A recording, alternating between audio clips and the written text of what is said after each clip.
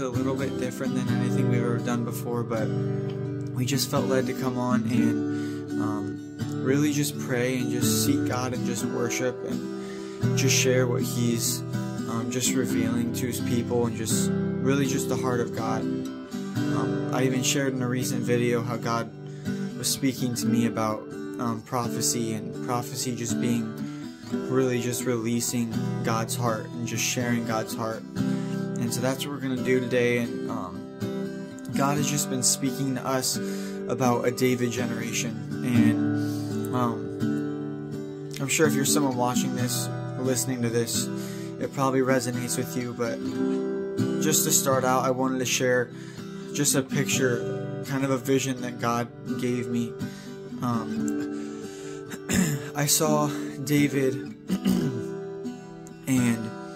he was slouched over on the ground and just he looked weak and powerless and like he didn't have any strength in his body. And what I saw was I saw his arms were kind of kind of they kind of looked weak and um, like they were kind of just slouched out too. And in his right hand there was a sword that he was loosely holding and, and the same thing in his left um, he was loosely holding a harp. And i saw a dove like the holy spirit fly over to him and with his beak he grabbed the sword and he he lifted it up and as he lifted up david stood to his feet. And it was as soon as he stood to his feet he started charging forward with the sword pointed straight at his enemies. And it was it was almost comical because it was like a cartoon that I was seeing. This whole thing looked like a cartoon, but um, in his left hand, as he charged forward in his right hand with the sword, his left hand was playing the harp. And it looked completely effortless. And I saw musical notes of all sorts of colors just coming out of the harp. And as he was playing and as the as the music notes were, were going out, they were going out like arrows and they were just like they were just completely repelling the enemy that that was trying to come at him. It was like they just had no power. It was like they looked they looked fierce at first and then when the music notes started hitting them, they started like shrieking and becoming very afraid and they were like there was nothing they could do. They were just it was like they had these javelins they were trying to throw and as soon as those music notes were were penetrating it was like the javelin was just thrown to the ground and their eyes just got super big. It was like again it was like a cartoon if you can imagine that and I just believe that right now we're just we're just in a moment in a season where there have been so many Davids, including us, including myself, and just including us in our marriage and my wife, where we've just there's been just this ambush of the enemy to just make us feel lethargic and to make us feel unmotivated and to make us feel like we just want to drop the, the weapon that's been in our hands, uh, you know, the guitar that's been in our hands, the piano that's been at our fingertips, the drums, just the instruments, our voices. The enemy is wanting to make us feel inferior. He's wanting to make us feel heaviness and guilt and shame. He's wanting to make worship feel like feel like a responsibility and pressure rather than just a freeing thing. And that's because God is really, He's anointed our voices, He's anointed our hands.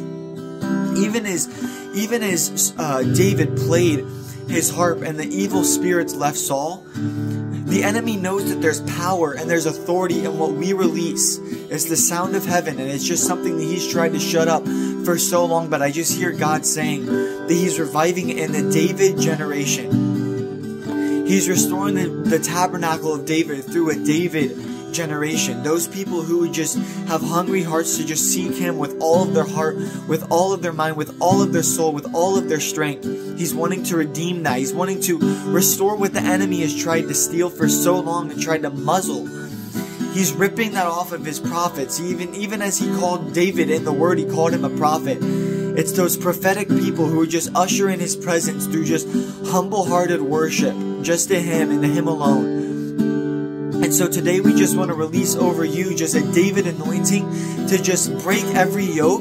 We just thank you, Lord, that you break every single heavy yoke, God, that's been put upon your David generation and upon your worshipers. And we just release a sound from heaven right now, just as your grace and your anointing just falls upon this word and upon these people listening. We just thank you, God, that it just ricochets in the spirit and that it would just be piercing light just piercing through every veil of darkness. We thank you, God, that your arrows of light would just shatter every single demonic oppression, every single demonic spirit that would try to come against the voice. And we just say right now, eagle voices arise in the spirit. I just thank you, God, that you've set a fire in these voices to just be untamed, unafraid, to just be bold, and to just tear down every single accusation of the enemy, every single lie, God. We just ask you sovereignly to just take those things away, Lord, and just revive, just revive the spirit of these Davids, revive the voices. And I just even see just the spirit descending like a dove upon these Davids. And I just thank you, God, that it's your spirit of peace. It's your, it's just your Father anointing to just say that this is my David, this is my son in whom I'm well pleased.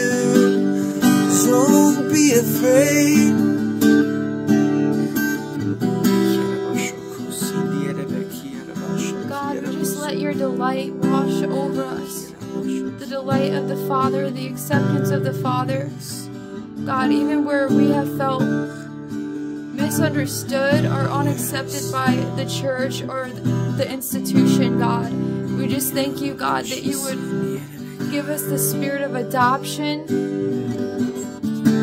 God is saying right now, just receive the spirit of adoption. No more orphan spirit,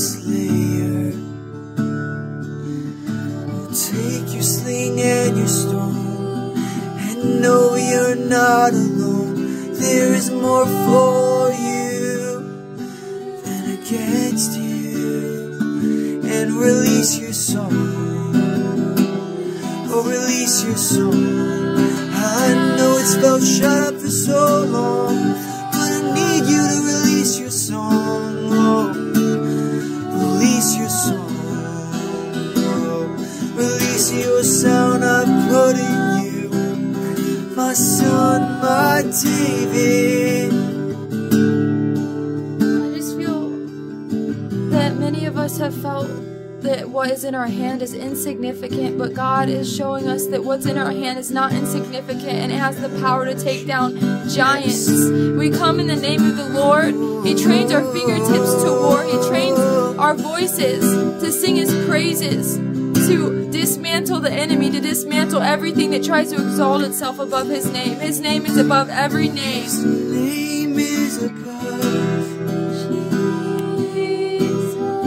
I hear the Lord say that He's even over equipped us. The, the word calls us more than conquerors. And David was equipped with five stones, but it only took one to bring the giant down. And God says that you are even over equipped for this job. You are overqualified even where you haven't felt qualified. You are more significant even when your voice has felt even when your voice has felt completely insignificant. God says there is power and authority you've not tapped into, but it only comes by by releasing your sound. It only comes by uttering your voice and just opening your voice even when you don't feel like it. Just casting off that heaviness, that spirit of heaviness right now. Praise break off the heaviness. Yes. Put your hand on your belly and just say, Living water flow. Every person watching this. Living water flow.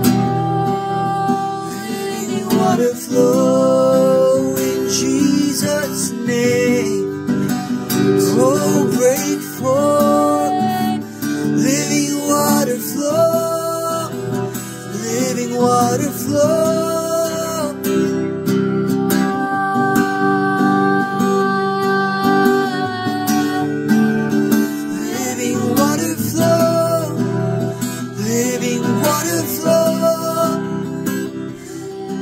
of heaven. I just hear God saying that He's releasing pent up miracles and pent up signs and wonders in the lives of these Davids and the lives of, uh, of these people.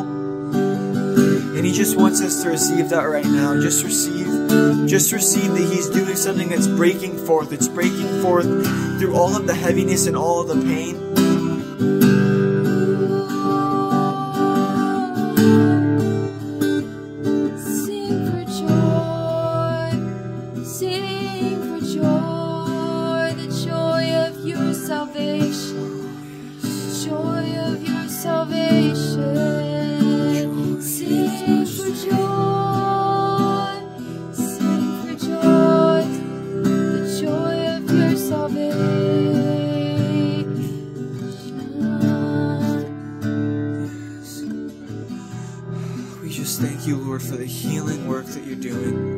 Hearts of a David generation. Raise your people up, Lord. Even as you're listening right now, just lift your voice, lift your hands with us, and just speak over the David generation that would just raise to take down every giant, every single giant. We just thank you, God, for commissioning your David to have been who have been stuck in the pasture.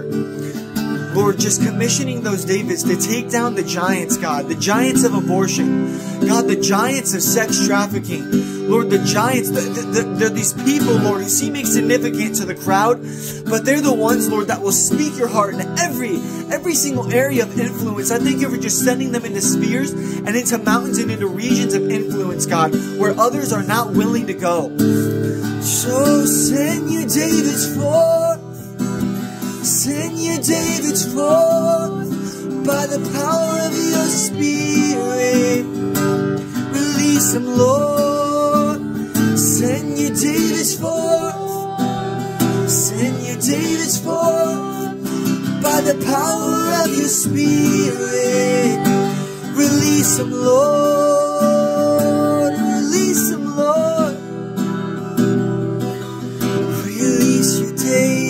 Davids healed up and ready for the battle.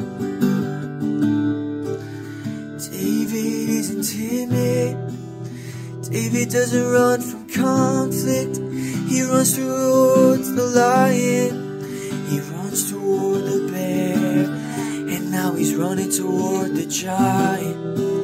He's running toward the giant. Running toward the giant off his head He's running toward the giant. He's running toward the giant.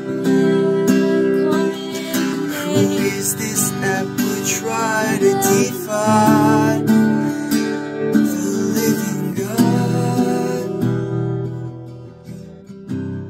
It's the Davids who know the heart of the Father who have spent time getting to know him, getting to know his voice. You are not insignificant because you know the heart of your Father. You are not insignificant because you spent the time with the sheep, regarding those who God loves and who God cares about and being willing willing to take on the lion, to take on the bear, to take on the giant. So we just release that over a David generation today, God. We thank you that you have blessed us. You've blessed them and you've blessed us. We thank you, God, that you're increasing just in abundance, Lord, in every area. In finances and in relationships, we just thank you, God, that you would raise these Davids up to just be all that you've called them to be. No more inferiority, no, Lord, no more loneliness or hopelessness or heaviness. No more hope deferred. No more orphan mentality or orphan spirit. No more victim mindset, God. Release your Davids. Release your Davids, God.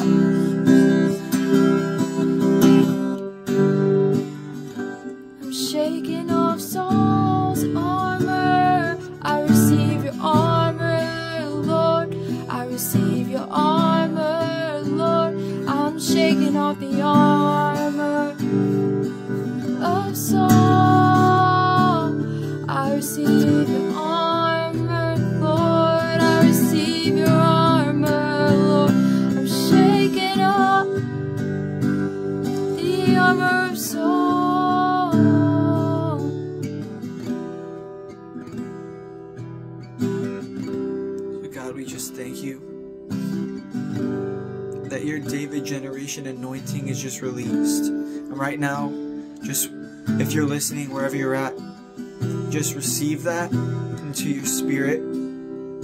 The anointing of the David generation to speak, to sing, to pick up the instrument again, to prophesy, to not be afraid, to not give in to the fear tactics and the intimidation of a Philistine who's come in the name of the enemy to try to defy the living God. There is no authority and there is no power in that.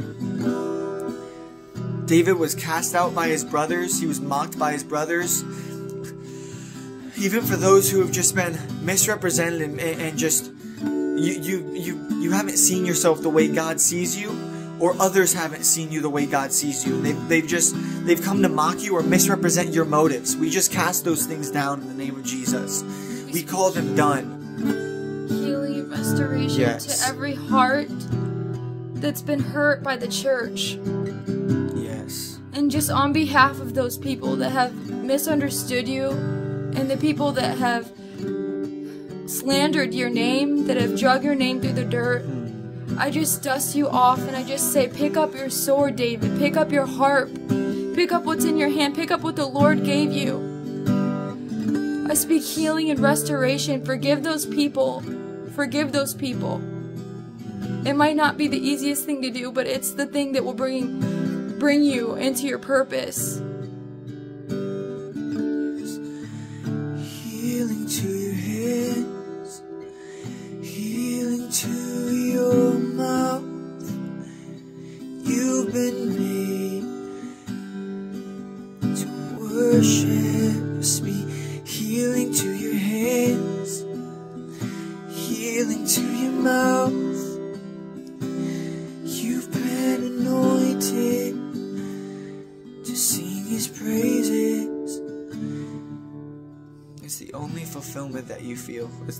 Fulfillment that you know. It's the only way that you know how to live. And so we just right now just commission you to just go and be the David generation that he's called you to be, to slay the giants. You're more than a conqueror. You've been over equipped by the power of his spirit. The same spirit is in you that raised him from the dead and took down every single giant, every single lion, every single bear. Because nothing can defy the God that lives inside of you. Yes, and you're wild and you're undignified like the lion of Judah. And you worship in spirit and in truth.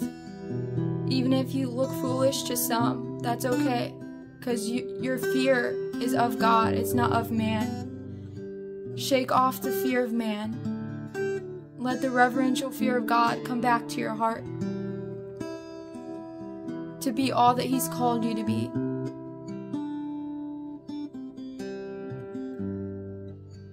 Just be raised up by the Father right now. Let the Father raise you up. Ask Him to.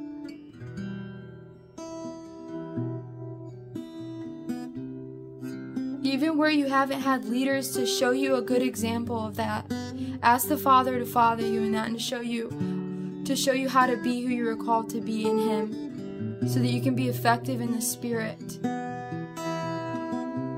so that you can live out your purpose in its fullness.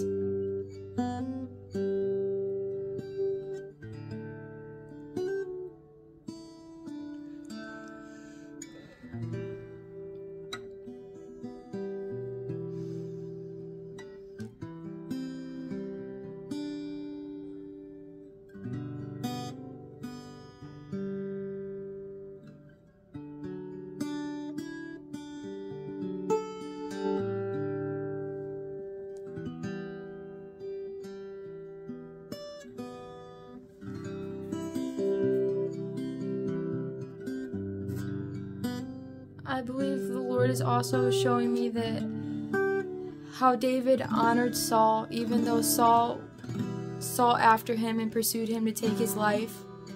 David didn't do the same thing, so what we're to do is to speak life and to pray for the people.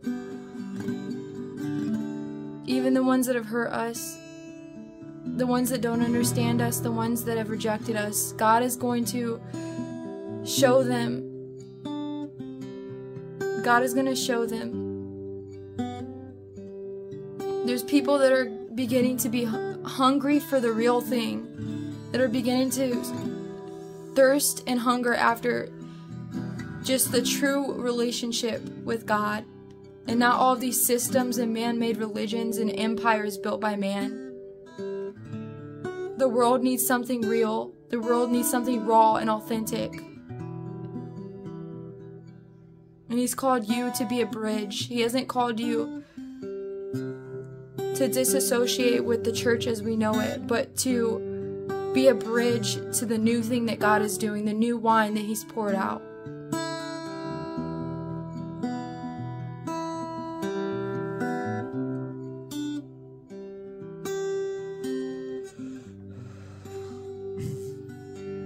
Oh just thank you for the words that have gone forth, and we just thank you for the, the seal of your Holy Spirit. And just do these things in us. We just come into agreement with what you have. We just come into agreement that you're our Father, you're pleased with us, and you've anointed us for such a time as this. In Jesus' name, amen. Well, we love you guys, and thank you for joining us. And we just pray peace over you, and that we just thank you that we just thank you, God, that you're just breaking these things off of us and off of these people. And so we love you guys, and we will see you in the next one. Bye. Bye.